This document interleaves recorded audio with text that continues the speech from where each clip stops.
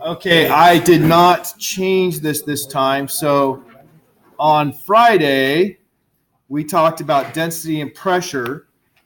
And today we're going to continue on talking about pressure and get to Pascal's principle and Archimedes' principle. Now, before we get started, I want to just do something that I find very cool that is totally what we're learning. So this here, surprisingly enough, a piece of rubber, right? Yeah. Put on here, it holds it up. Why does it hold it up? Okay, I have an answer of suction. This is fundamentally a suction cup. It's also a suction cup with a leak, so it won't hold it forever. Now, let's uh, let's try. Who thinks that they're a, a skookum person, a strong person? Okay, Andy, come back up here, Andy. You vacated. Okay, try to lift that straight up. Okay, she got it. But it was easy? No. No. Why was it hard? Once again, go ahead. Suction. Suction. So what is going on with a suction cup? Which is what this fundamentally is. Ideas? Pressure is holding it. Okay, you said pressure is holding it. That's right. If you look at, now this here is just a, a cheesy physics lab suction cup. Normal suction cups are, are developed to make this work a little more efficiently. But what you have is a piece of rubber.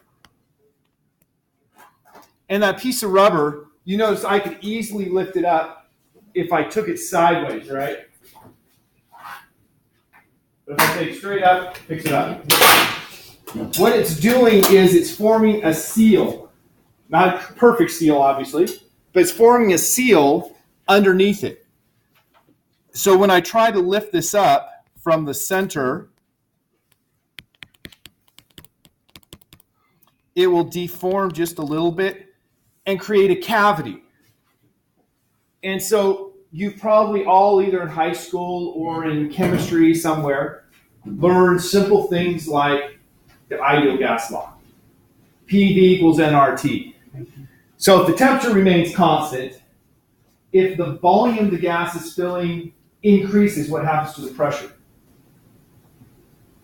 If the volume is increased, If the volume increases, because you went from having virtually no gap in there to it forming up to have a gap, then the pressure decreases. then the pressure decreases. So you're going to have a low pressure on bottom and atmospheric pressure on top. And so all you have to do is say, well, what's the force caused by air, the net force caused by air? And the net force caused by air is going to be force down equals pressure atmosphere times area, and force up equals pressure low times area.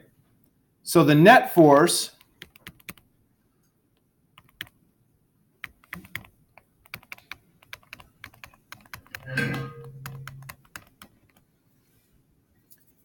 if we're in equilibrium, the net force will be zero. And so that means that the, the lifting force is force down minus force up, or pressure atmosphere times area minus pressure low times area.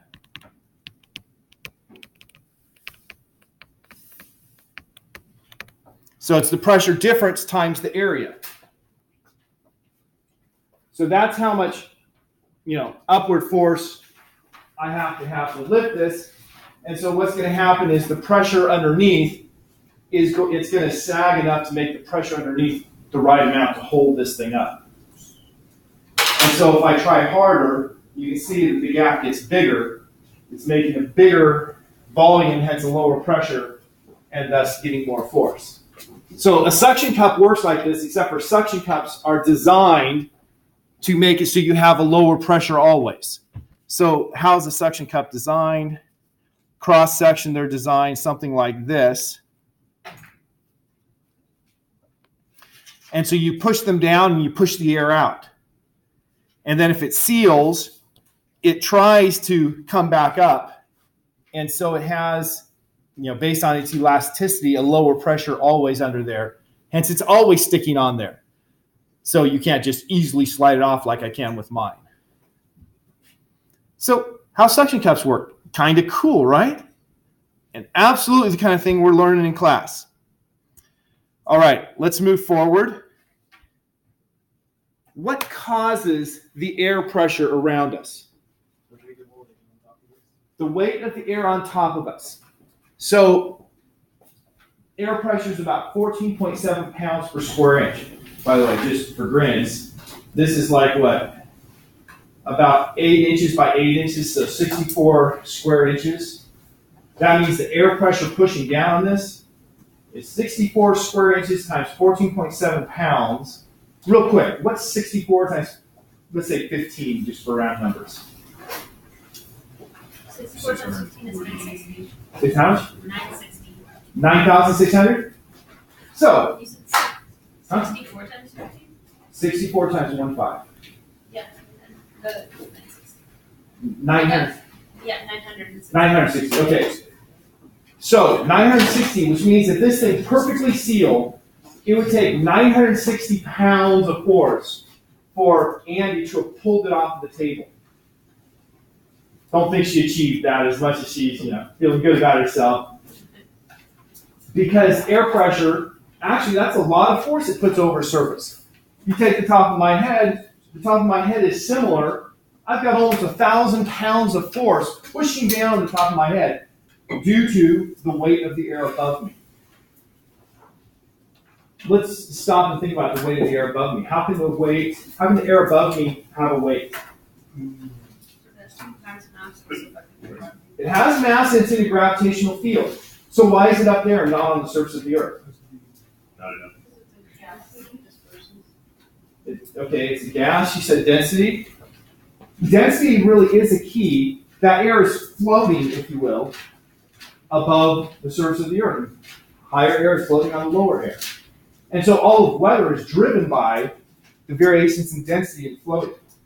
So that's part of what we're going to talk about today. We're going to start though with something simple. If I have a container of water, like this, we know that there's air pressure on top, and so that air pressure is putting a force on the top of the water. What direction is the force the air pressure is putting on the top of the water? Pushing down, Pushing down, because the force is always in what direction? Always into the surface. The force due to pressure is always into the surface. Hmm? That is the normal direction, yes. Did you say normal? Yeah. Okay, so as I go deeper, what's happening to the weight of the air and water above me? It's increasing. So the pressure is increasing because of the increased weight. Now, as long as I have a nice uniform cylinder, the calculation is very simple. I'm just going to have the increase in weight is the volume times the density. That's remember mass. Density is mass per volume. So mass is equal to volume times density times g.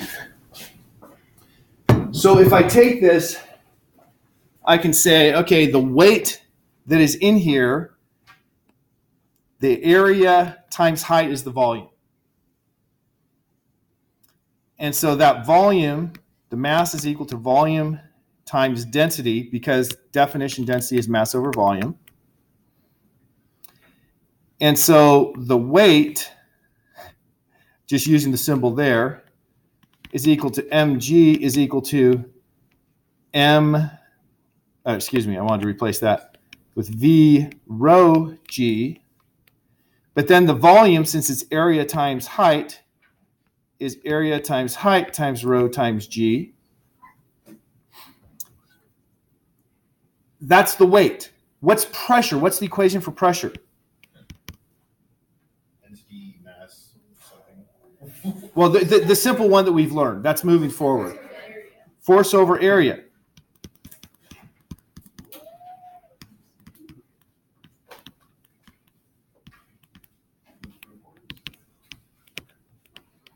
And so I think this is actually where Randy was going was the solution we get from this that the pressure is rho GH. Now, if I want to be really careful, which I should be, right? I'm a teacher. I should have put the change in pressure is equal to the additional weight, which would be A times delta H rho G. And so it's rho G delta H. So the true equation is the change in pressure as you go down in depth in a fluid is equal to rho GH, where H is the depth you are in that fluid. It's the change in pressure because at the top, the pressure was atmosphere.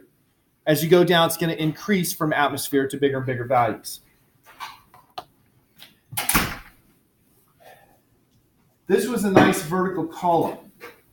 We said, well, Russell said, Russell, you had a question. What was your question? If the ocean count is a nice vertical column for this equation. This what? The ocean count is a nice vertical column for this equation. Okay, that actually plays into where I'm going. Russell had said that air pressure is due to the weight of the air above us. Well, how much air is above my head right now? Like hundred miles of. There's a roof between me and most of that. Right? So the roof is holding up all the other air. Right? That's not coming down to me. And so you say, okay, meter and a half. Well, how is it that a meter and a half can give me that same air pressure as it would be outside? Because you know, when we open the door and I go outside, there is not a big difference in pressure.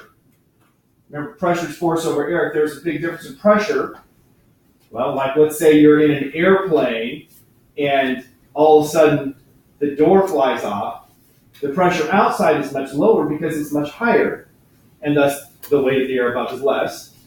And what do you see in the movies? People go flying out. Things go flying out. To some extent, they do because you have low pressure on the outside, high pressure on the inside. Just like when we talked about this, low pressure here means a small force that way. High pressure here means a big force that way, and it goes away from the high pressure. Rapid decompression. Yes, and you have rapid decompression. So we don't have that when we open the door. So we know that the air pressure here is basically the same as outside. Truth, air handling systems in modern buildings try to keep a slight positive pressure. They try to keep the pressure inside the building slightly higher than the pressure outside. That way, you don't have that hot or cold air out there kind of creeping in. If you have little leaks, as you do, it's going out. Okay, so back to back to the topic there. How is it that I have the same air pressure here when I only have like a meter and a half of air above my head, whereas I go out there and I have, you know, 10 miles of air above my head?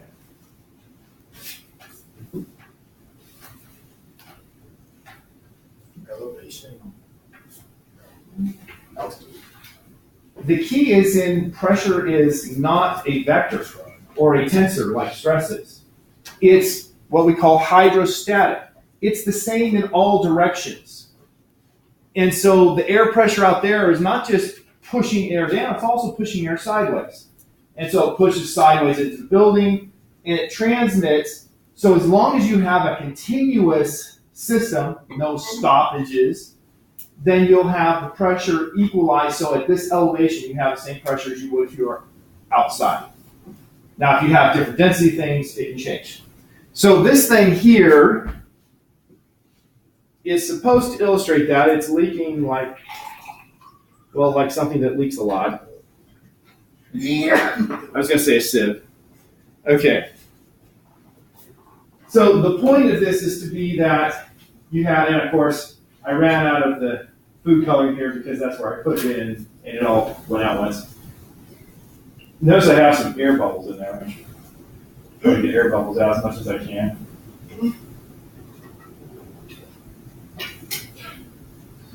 Most of them are out. Okay, but the, uh, the height of these is very similar. Not exactly the same, but very similar. Why? Because they should have the same air pressure on the outside, and so they're going to have the same depth to get down here because they all have the same pressure down here as well. Why are they not exactly the same? What?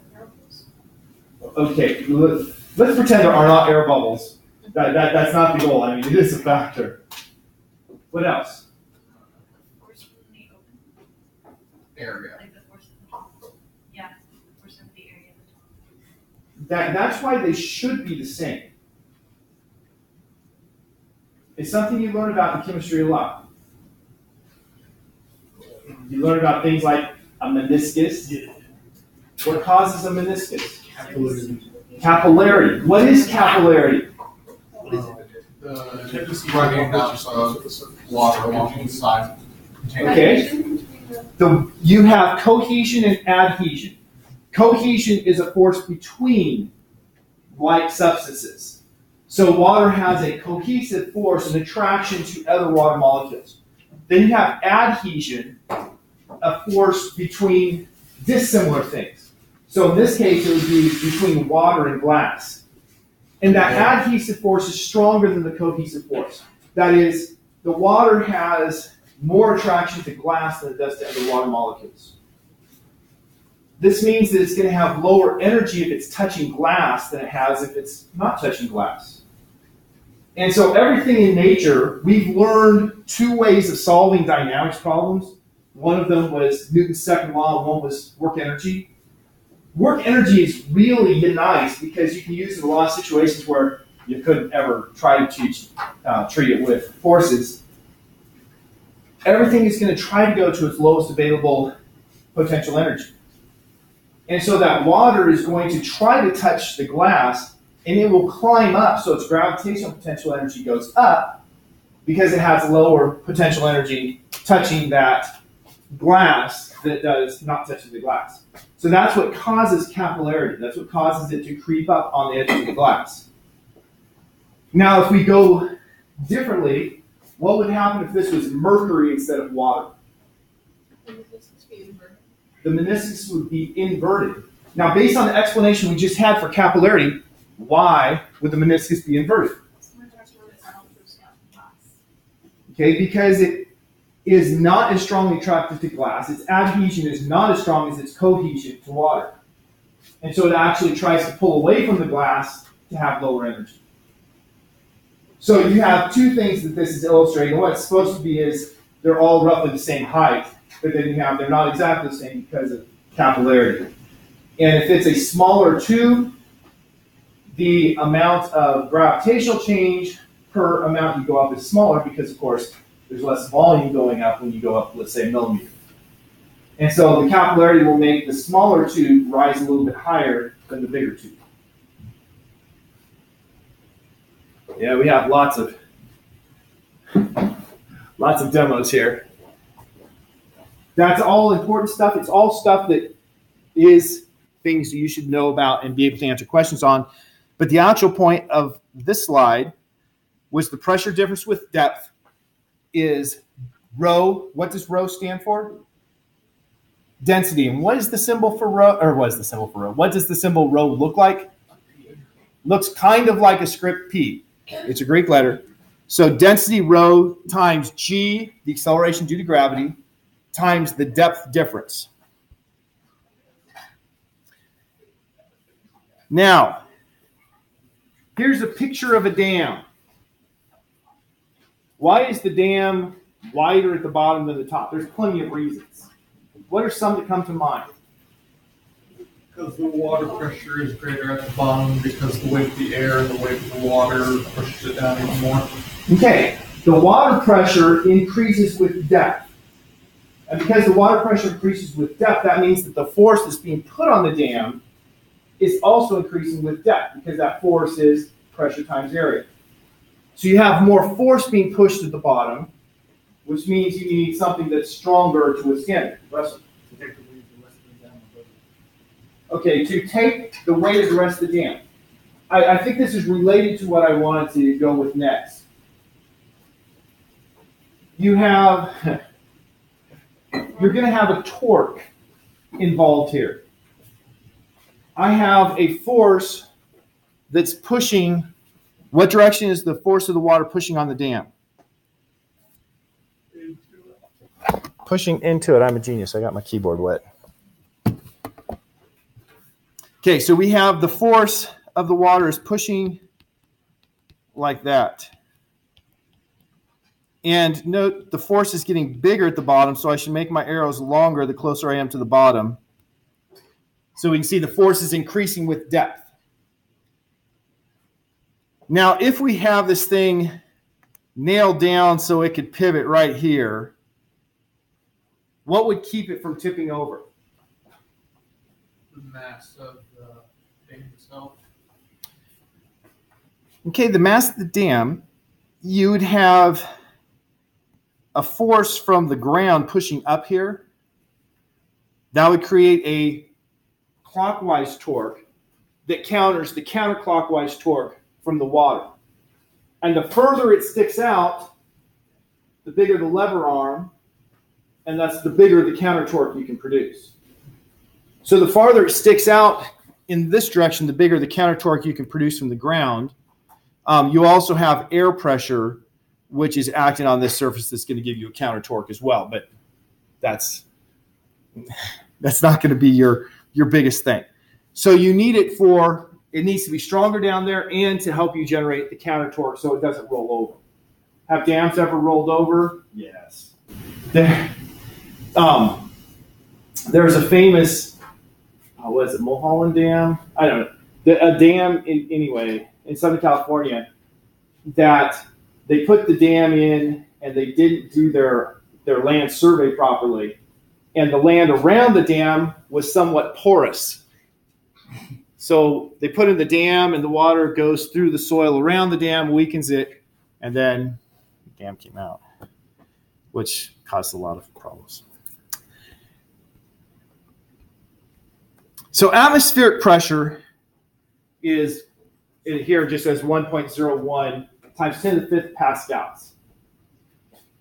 If I were to take, eh, I don't have anything to do this. Actually, let me do a couple demonstrations before I move on.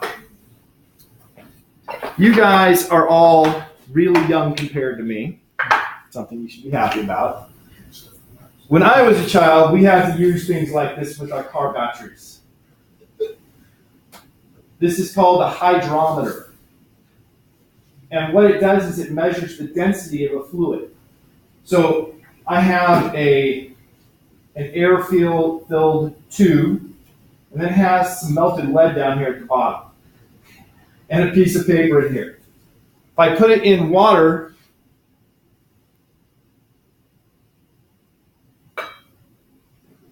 it floats. And how can I tell the density of the water?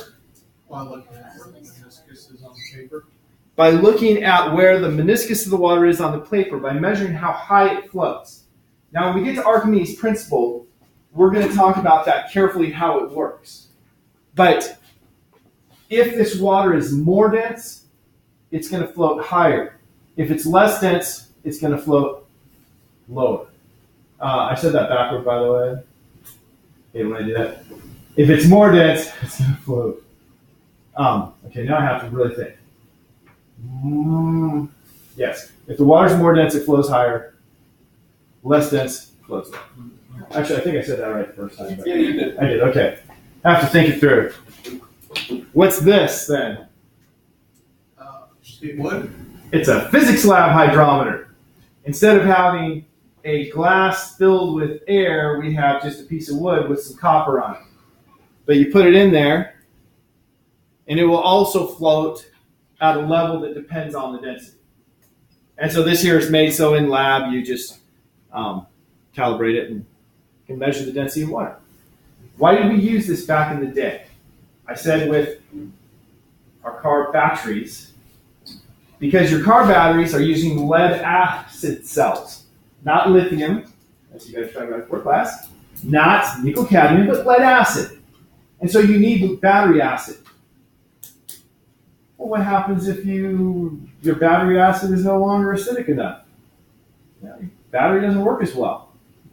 So you would actually measure the specific gravity, which is basically another term for density, it's slightly different, of the battery acid to determine if you need to put more acid in there or not. Do we still have battery acid in our batteries today? Yes. yes. See my lovely pants? I changed my car battery I was wearing these pants. And my car battery was bad. To the point that instead of the terminal coming off, you know, your- you know the, the, you have a post and you have the terminal that goes on it, I loosened it up and twisted, and the whole post rotated. And so I tried to lift up, just hoping that would help, and the whole post came out, and I got splashed with battery acid. That's, Did you keep some sodium bicarbonate nearby? no, I did not. Did it get your legs here or just your pants? Excuse me? Did it just get your pants or did you get injured? Uh, no, I did not. Nice. It's just sulfuric acid. It's It's just H2SO4. It is. I don't know why. I mean, yeah, it's strong, but Well, it's a concentration. Oh. Excuse me? these two days. Yeah, well, I wasn't wise, okay? Let's just let's just move on. New topic. Okay, so our atmospheric pressure is caused by all the air above us. What if I had a hose and I put the hose in the lake, put a cap on, and started lifting the hose up? It's what? It would get heavy. That's a very true statement if I started lifting it, how is the pressure in the hose going to compare to the pressure in the atmosphere? It's gonna get bigger. Okay, the pressure difference for a meter in the hose is going to be density of water times G times one meter. The pressure difference for met, uh, meter in the air is density of air times G times one meter. Well, density of air is about one eight hundredth density of water, if I remember right. So my pressure in the hose, it's always going to be atmospheric pressure at the water level. And so as I lift it up, I have the cap on there so the water gets, you know, goes up with it. And so the pressure at the top is going down.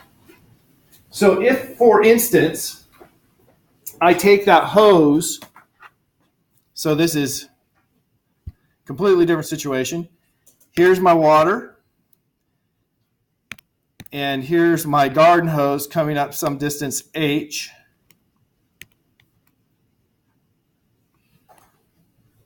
and we had pressure atmosphere here and the pressure inside. What is the pressure inside going to be? Uh,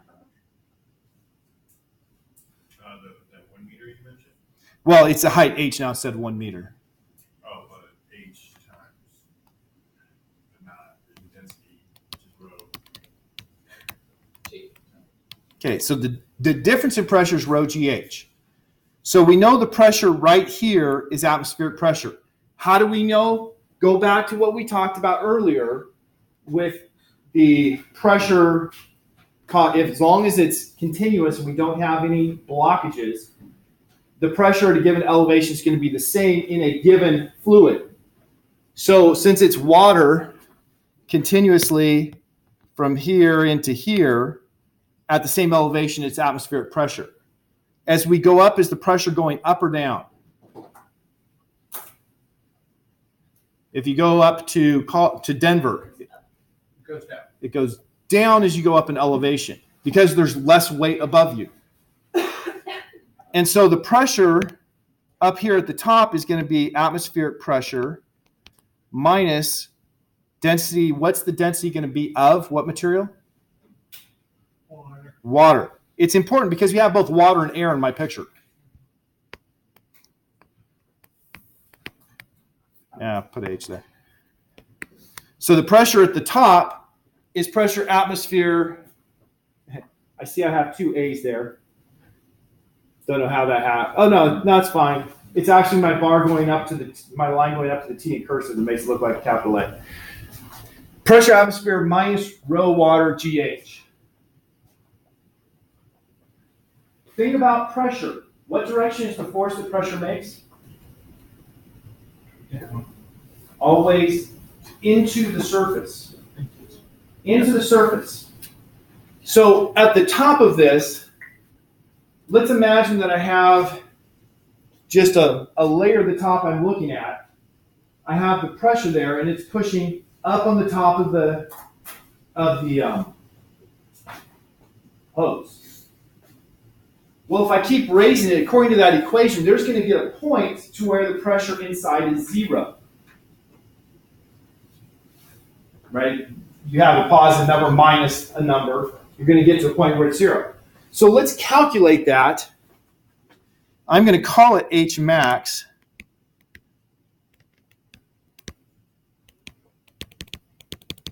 When pressure in is zero. And so just solving that, I'll have pressure atmosphere minus rho water G H max equals zero. So H max is equal to pressure atmosphere over rho water times G. Now, why would I call that H max? What was my condition for H max? H being height, right? H being the height.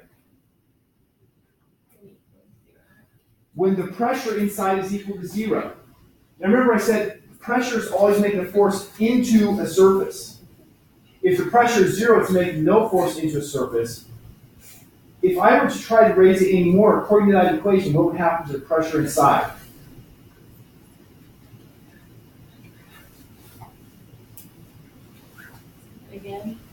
If I make H bigger than H max, what would the pressure inside be? Negative. It'd be a negative value. You cannot have a negative pressure. A negative pressure would imply a force pushing out from the surfaces instead of going into the surfaces. The only way to make that happen would be to, to glue it. So you cannot have a negative pressure. The lowest pressure you can have is zero. So we call that lowest pressure a vacuum. And I never check how many C's are in vacuum. I know there's two U's, but I think it's spelled with one C. Okay. So once we get to that height max, if I keep raising the hose, what's going to happen to the water level?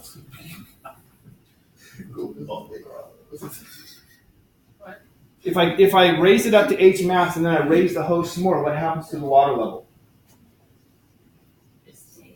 It's going to stay the same because it's going to stay with zero pressure at the top. It can't go any negative, and so you just can't draw the water any higher.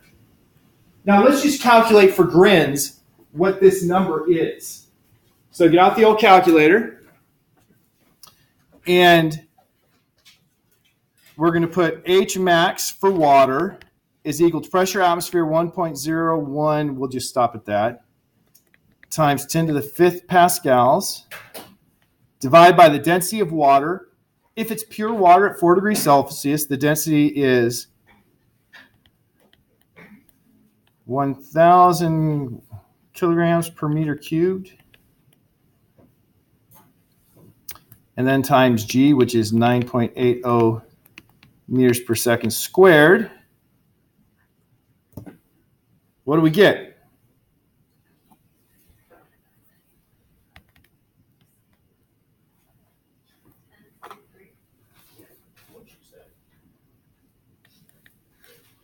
Ten to the three? Ten point three. Okay, I was like ten to the three is kind of big. Ten point three meters. That's in meters. So the highest that you can pull water up is ten point three meters. Um, By pulling, yes, ever. By pushing, you can go higher. Right? If you make a higher pressure on the bottom, you can lift it higher. But if you're trying to pull it up from above, the highest you could ever get is 10.3 meters. How does that work with your units? Because it kind of looks like the meters can't go out. Okay. Pascal says newtons, oh wait, Always an important question, not one to be ignored. 1.01 times 10 to the fifth kilogram meters. that's why, okay. Okay, a, a newton is kilogram meter per second squared, right? But then we're dividing by one over meter squared to get pascals. Okay, I see why. I'm still going to finish.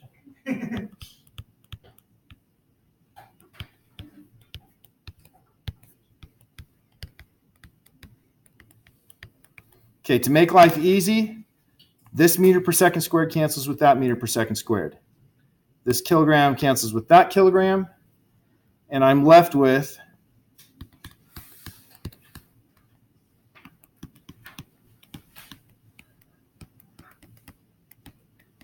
that using the old invert and multiply rule for dividing fractions.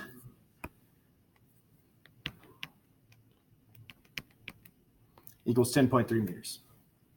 Right? It's, it's always a good thing to check that. I was just talking to DJ this morning. He was saying, yeah, it's one of the things that I try to focus on with the students. You know, when you get your answer, make sure it makes sense, make sure your units make sense, so on.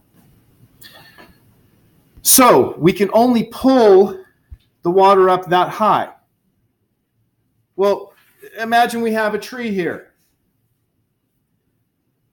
Does that mean a tree can't be more than 10.3 meters tall? Trees are definitely taller than 10.3 meters. You disagree? How does the tree get the water higher than that? Hydrostatic pressure. A what? Hydrostatic pressure. Also, when the water evaporates, it makes some pressure. Also, capillary action. Yeah, ca- capillarity. I mean, I, I was taught this when I was like seven years old, going to national parks and having ranger talks. The, the capillarity is pulling the water up, and basically, you pull it up to here and you put it into a new reservoir. You pull it up to here and you put it in a new reservoir. So it's not a continuous column from top to bottom. Because if it was continuous top, column from top to bottom, you'd have two problems. Number one is you'd be exploding the bottom of your tree, and number two is you wouldn't be able to get up above 10.3. Well, you, you'd have one or the other. You'd either explode your tree or you wouldn't be above 10.3. Go ahead. My understanding is that hydrostatic pressure does also play a role. Well, hydrostatic pressure just is everything we're talking about. Okay. So, so yes, it, it does play a role. So, uh, when the water evaporates out from the leaves, it like creates a little bit of a. It, it, it makes it so you have lower water pressure here, Yeah. and so then it refills. So that is right. To, to that extent, yes, yes. All right. The tallest tree in the world is 115.7 meters tall. Good to know. Everybody got that? That Pascal's principle. Pascal's principle is a principle we've already been talking about. It's the principle that says that the water pressure at a given elevation will be the same as long as we have a continuous fluid. And so we can use this for some kinds of simple machines. Now, the picture on the right is a picture of the brake system, a drum brake system, for those who care, in a car. Could you go on this? So now, if you look at that, we have a number of different simple machines. Starting with the foot, what's the first simple machine you see? A lever. I I said toe. A lever. Because we have this is the lever arm for the foot pushing on the brake pedal. And this is the lever arm for that pushing on the master cylinder. Because the, the foot is on a much longer lever arm, you're going to have a mechanical advantage of, and the way the picture is drawn, if we assume that you're pushing straight forward parallel to F1, then we could just take the ratio of the distances 20 um, centimeters to 4 centimeters.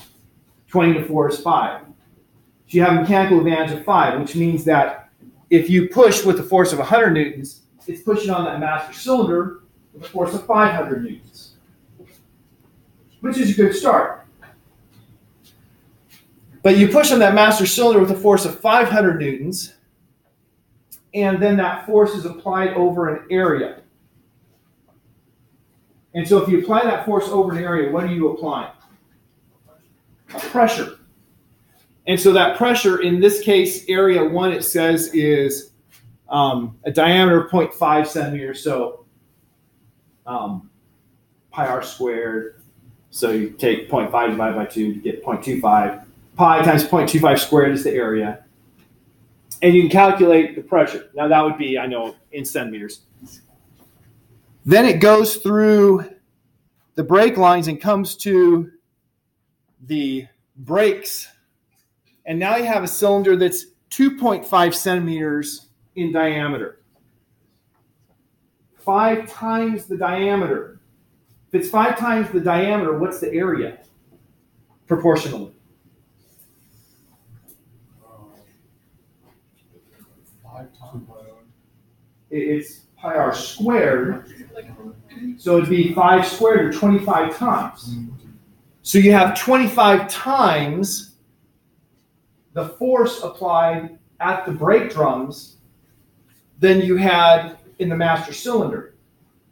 So you had a factor of five from the mechanical advantage from the lever. Then you have a factor of 25 from the hydraulics by using a bigger diameter, hence having a bigger force for the same pressure. So does that mean a total factor of one twenty-five? So that would be a total factor of 5 times 25 is 125.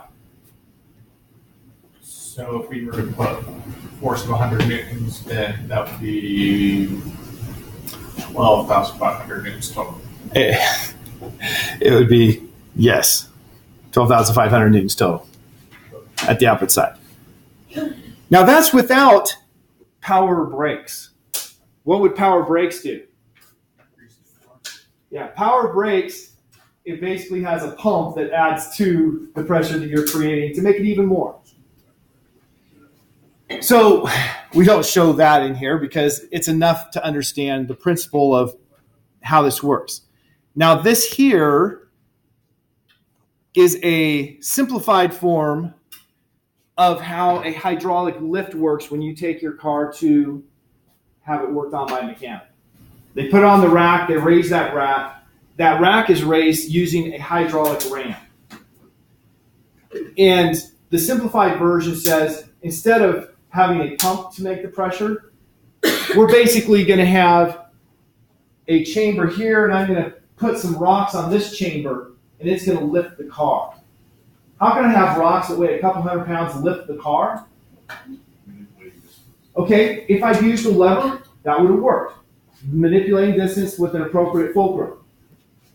Here we're going to use Pascal's principle where we have the pressure here is going to be the force of the rocks, the weight of the rocks, divided by the area here. And then if this is at the same height, notice the picture is carefully drawn to make it the same height so we don't have to worry about any difficulties. Then the force that it lifts is going to be that same pressure times the bigger area.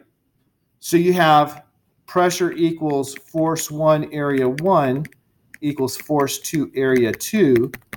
Therefore, force two is equal to force one times area one over area, uh, whoops, force two, yeah. I, force one area one. Yeah, well, that's, what was that? Yes, I, I was trying to. You're right. Trying to figure out why is that wrong. Force is pressure times area. Yes. Thank you. I knew I had a mistake and I did not see what it was. So force two, the force you can lift, is equal to force one times area two over area one. That's more like it. So you can lift a heavy car with much lighter stones because of the ratio of the areas.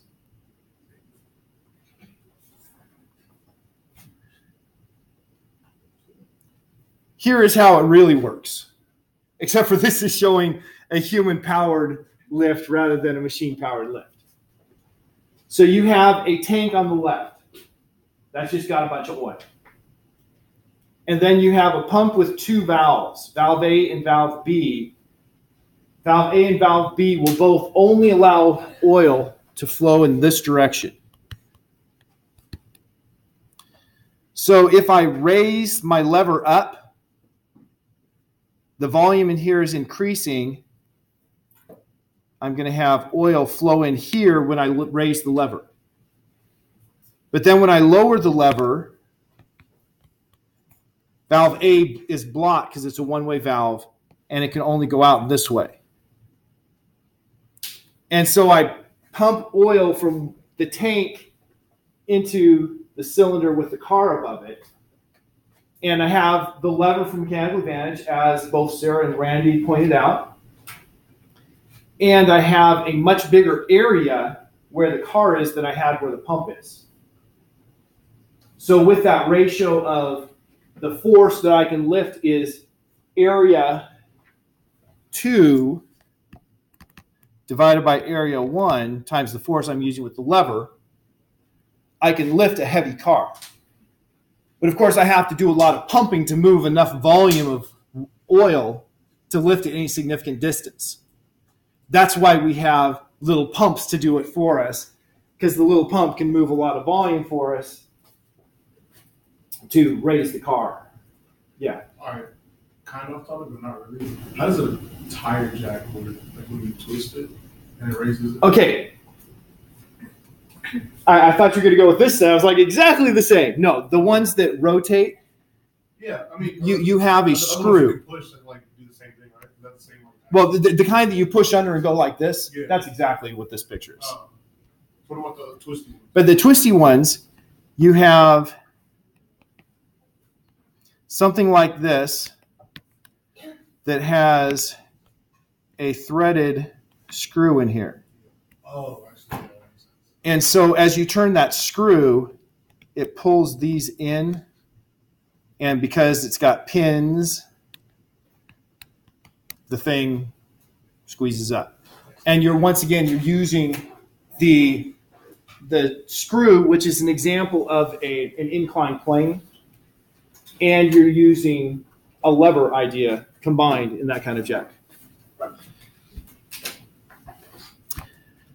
How do we measure pressure? There's lots of ways. One is the aneroid. That's a simplified, or simplified, actually, more complicated version of the design I showed you in class on Friday for checking the air pressure of tire. The aneroid, you have pressure that moves bellows because you have a force acting on the area, and you have a spring to counter that. It just measures how much it moves. Or you have the manometer with the Mickey Mouse on it. If you have both sides the same pressure, the elevations will be the same. But if one side is a different pressure than the other, the elevations are different. And using the equation we've learned, the pressure difference is rho gh. And so in this case, which side is higher pressure? The side with the Mickey Mouse head or the side open to the atmosphere? Mickey Mouse head. Mickey Mouse head is higher pressure, which pushed this down. This here, so here's pressure atmosphere. And then because we went down, the pressure got bigger by rho gh. What is the density in this case? Density of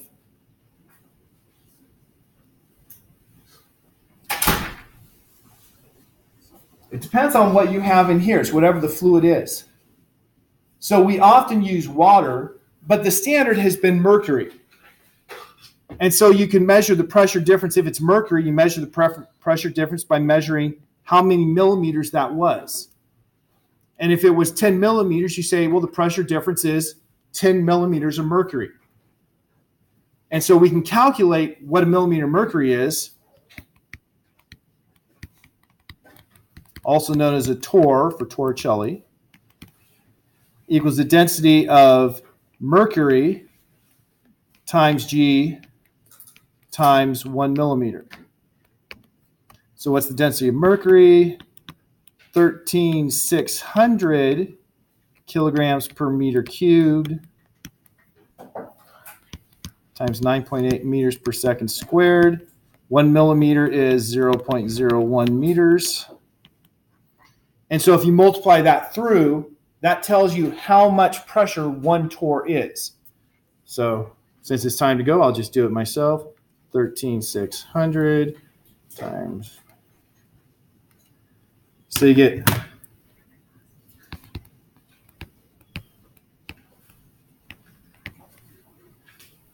So one millimeter, mil, mil, uh, millimeter mercury, 1,333 torr. Or excuse me, I said that backward. One mil, one, one millimeter mercury is one torr. Yes. One torr, one millimeter mercury is 1,333 pascals. Okay, have yourselves a great day. I will try to pick up the pace next time. Well, we'll be doing Archimedes principle and lab tomorrow, so I believe that's where my next slide would have started anyway. Oh, no, a couple away.